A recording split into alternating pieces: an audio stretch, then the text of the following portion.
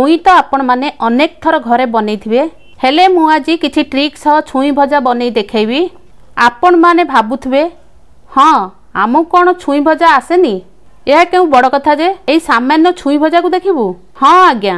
ଆପଣମାନଙ୍କ ମଧ୍ୟରୁ କେହି ମୋ ଠାରୁ ବି ଆହୁରି ଟେଷ୍ଟି ଛୁଇଁ ଭାଜୁଥିବେ। ହେଲେ ମୋର ରିକ୍ୱେଷ୍ଟ ଏଇ ଭିଡ଼ିଓଟିକୁ ଆଦୌ ମିସ୍ କରନ୍ତୁନି। ଥରୁଟେ ନିଶ୍ଚିତ ଦେଖନ୍ତୁ। ପୁରା ସୁପର ଟେଷ୍ଟି ଛୁଇଁ ଭଜା ବନିବ। ନମସ୍କାର। ଝାନ୍ସୀ ରୋଷେଇରେ ଆପଣମାନଙ୍କୁ ସ୍ୱାଗତ। ଚାଲନ୍ତୁ ରେସିପି ଆରମ୍ଭ କରିବା। ଛୁଇଁ ଭଜା ବନେଇବା ପାଇଁ ଏଠାରେ ମୁଁ ତିନିଶହ ଗ୍ରାମର ଛୁଇଁ ନେଇଛି ପ୍ରଥମେ ଆମେ ଛୁଇଁକୁ କାଟିବା। କାଟିବା କେମିତି? ଫାଷ୍ଟ ଟ୍ରିକ୍ ଛୁଇଁକୁ କାଟିବା ସମୟରେ ଛୁଇଁକୁ ଏହିପରି କାଟିବା। ଆକୁ ପୁରା ଆର ପାର କରି କାଟିବାନି। ଆକୁ ପୁରା ଦୁଇ ପିସ୍ କରିବାନି। ଏହିପରି ଟାଣିକି ଆର ଚୋପାକୁ ଖୋଲିବା। ଚୋପାକୁ ଏହିପରି ଟାଣିଦେଲେ ବାକି ଚୋପା ଗୁଡ଼ା ବାହାରି ଆସେ। ଏଠାରେ ମୁଁ ଛୁଇଁକୁ ମିଡ଼ିୟମ୍ ସାଇଜ୍ରେ କାଟୁଛି କାଟିବା ସମୟରେ ଏପରି ଛୋଟ ଏବଂ ମିଡ଼ିୟମ୍ ସାଇଜ୍ରେ କାଟନ୍ତୁ। ଏହାକୁ ପୁରା ମୁହଁରେ ରଖି ଆପଣମାନେ ଚୋବେଇ ପାରିବେ।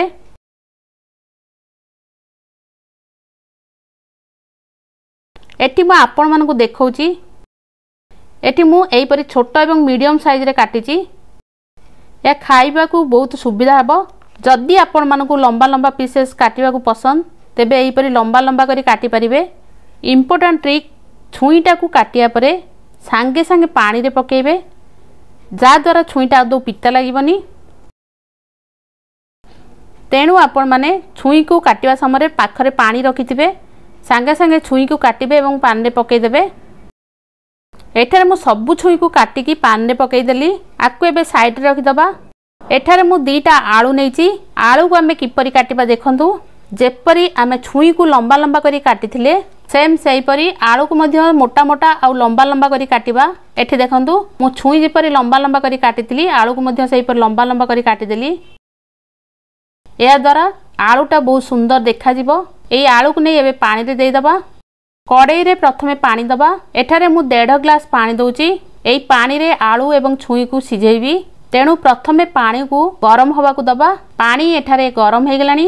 ଆ ଭିତରେ ଏବେ ଆଳୁକୁ ଦେବା। ଥାର୍ଡ ଟ୍ରିକ୍ ଆଳୁକୁ ଆମେ ଦେବା ପରେ ଲୁଣ ଏବଂ ହଳଦୀ କିଛି ବି ଦେବାନି।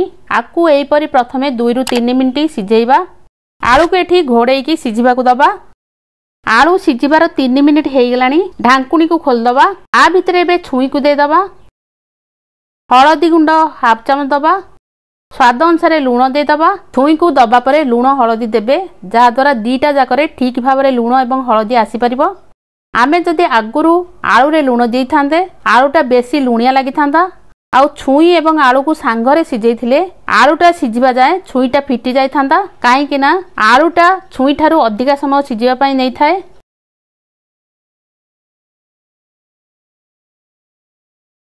ଏଠି ଦେଖନ୍ତୁ ପାଣିଟା ଅଧା ଶୁଖିଗଲାଣି। ଆଉ ଅଧା ଭାଗ ଅଛି। ତେଣୁ ଏବେ ମସଲା ଗୋଟେ ବନେଇବା। ଜାରରେ ଦୁଇଟା କଞ୍ଚା ଲଙ୍କା ଦେଇଦେବା। ଏଠି ମୁଁ ରସୁଣ ଦଶ ବାର କଲି ନେଇଛି ଦେବା। ଏଠାରେ ଟିକେ ଧ୍ୟାନ ଦିଅନ୍ତୁ।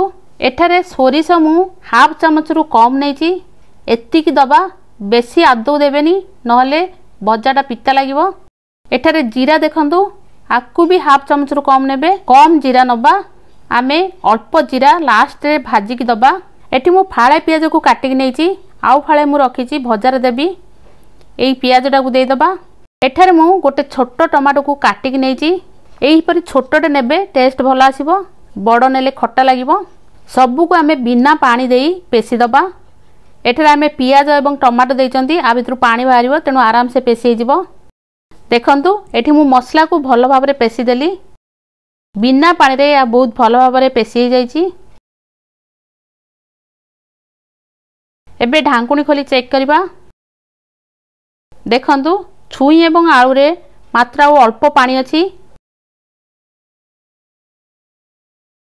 ଏହି ସମୟରେ ଆମେ ମସଲାକୁ ଦେଇଦେବା।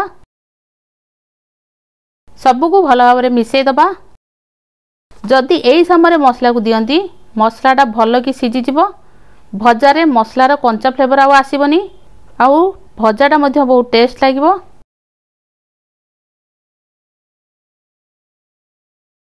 ଆକୁ ଆଉ ଦୁଇ ମିନିଟ୍ ସିଝିବାକୁ ଦେବା ଏଠି ଦୁଇ ମିନିଟ୍ ହେଇଗଲାଣି ଏବେ ଢାଙ୍କୁଣୀ ଖୋଲି ଚେକ୍ କରିବା ଦେଖନ୍ତୁ ଏଠାରେ ଛୁଇଁରୁ ପାଣି ସବୁ ଶୁଖିଗଲାଣି ଆକୁ ଆମେ ନେଇ ଫ୍ରାଏ କରିବା ପ୍ରଥମେ ତାୱାରେ ଦୁଇ ଚାମଚ ସୋରିଷ ତେଲ ଦେଇଦେବା ଆ ଭିତରେ ଏବେ ପଞ୍ଚ ଫୁଟଣ ଗୋଟେ ଚାମଚ ଦେବା ଫୁଟଣଟା ଫୁଟିଗଲାଣି।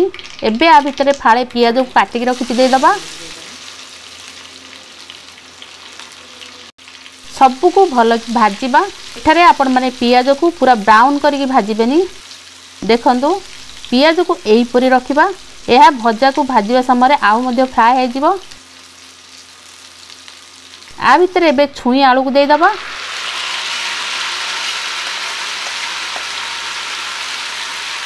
ଆକୁ ଓଲଟ ପାଲଟ କରିକି ଦୁଇ ତିନି ମିନିଟ୍ ପ୍ରଥମେ ଭାଜିବା।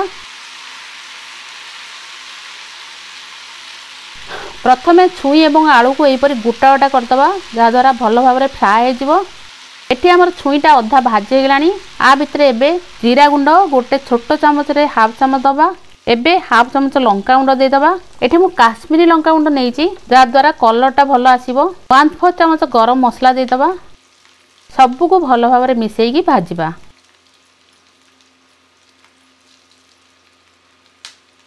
ଆଳୁକୁ ଧୀରେ ଧୀରେ ଲୋ ଫ୍ଲେମ୍ରେ ଭାଜିବାର ଚାରି ପାଞ୍ଚ ମିନିଟ୍ ହେଇଗଲାଣି ଦେଖିପାରୁଥିବେ ଏଠାରେ ଛୁଇଁରେ ଏବଂ ଆଳୁରେ କେତେ ବଢ଼ିଆ ଭାବରେ ମସଲା ଲାଗିଯାଇଛି ଆଉ ସବୁ ଭଲ ଭାବରେ ଭାଜି ମଧ୍ୟ ହେଇଯାଇଛି।